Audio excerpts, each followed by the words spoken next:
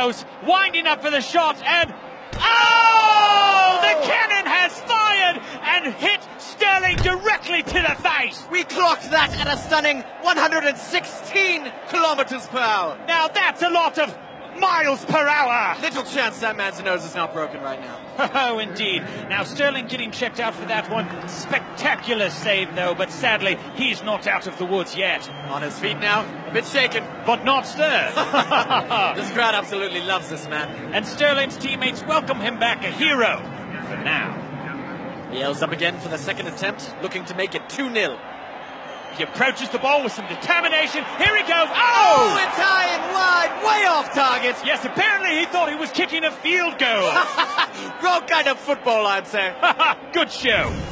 Back now to Scott Sterling. He looks a bit worse for wear, but ready for round two. And Shaw takes a moment. Here he goes with the approach. Oh! oh! Sterling with the fantastic dive. The ball flies straight through his hands and once again strikes him straight in the schnoz. And let's see it again on the old instant replay. Oh, every excruciating detail captured in HD perfection. Clocked at 129 kilometers per hour. Sterling does not look well.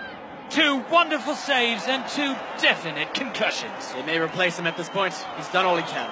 Yes, as his trainer takes him off the field like a mustached lion dragging a gazelle through the Serengeti. Adieu, Scott Sterling. Adieu.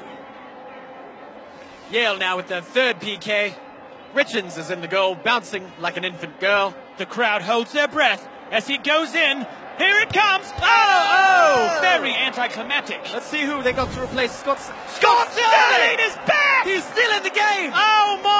And he's taking a very odd tactic now. Seems to be curling up to protect his face. Not exactly a recommended technique, but here it goes. Wait, no, no. Lampert needs to tie his shoe.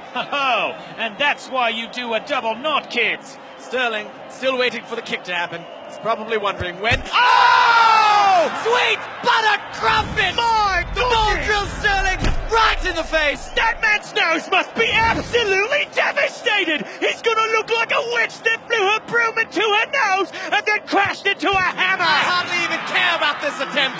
Let's go back to Scott Scott Sterling, the man, the myth, the legend. Three perfect blocks by Sterling and his cat-like face reflexes. Absolutely incredible. Though I must say, Sterling does not look well at all. Well, you know football players like to add a bit of drama, don't they? They're gonna take him out. No, wait!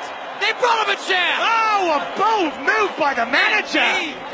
Sets up for the fourth attempt. And this, frankly, is a gimme.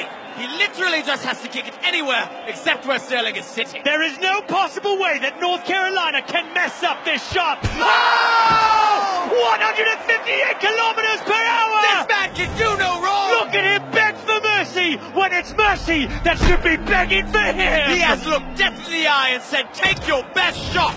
To which Death replies by punching him in the face over and over and over again. If Yale makes this final shot, it's all over. But no! Oh, he misses, which means we're going to Scott Sterling! His face is like a brick wall! A brick wall that can feel pain and cries a lot. But where's Sterling? Oh, he seems to be crawling away from the goal. What is he doing? He's throwing